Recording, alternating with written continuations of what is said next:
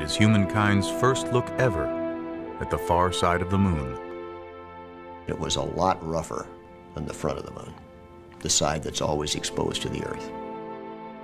We were like three school kids looking into a candy store window. Our noses were pressed against the glass. We forgot the flight plan. Then, something happens that no one has predicted, and it turns out to be an even more amazing sight.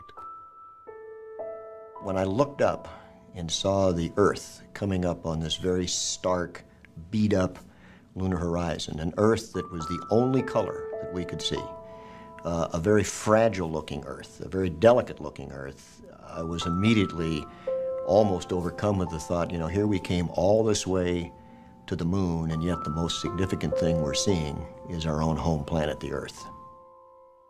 Though their mission is to photograph the moon, all three men focus on the Earth. Bill Anders takes a picture that gives humanity its first look at our home as it really is. Earthrise.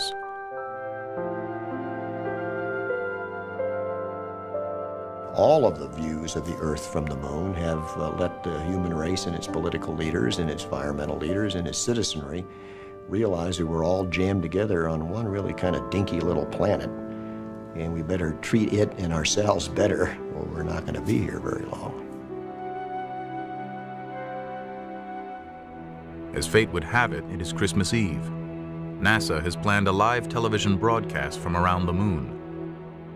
We were told that we would have the largest audience that ever listened to a human voice when we made our TV broadcast from uh, the moon on Christmas Eve. And the only instructions that we got from NASA, do something appropriate.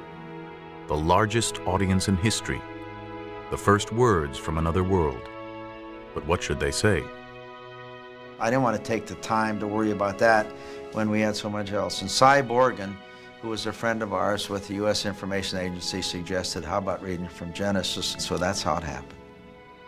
We are uh, now approaching uh, lunar sunrise, and uh, for all the people back on Earth, the crew of Apollo 8 has a message that we would like to send to you.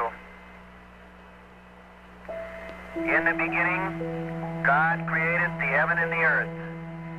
And the earth was without form and void, and darkness was upon the face of the deep. And the Spirit of God moved upon the face of the waters. And God said, Let there be light. And there was light.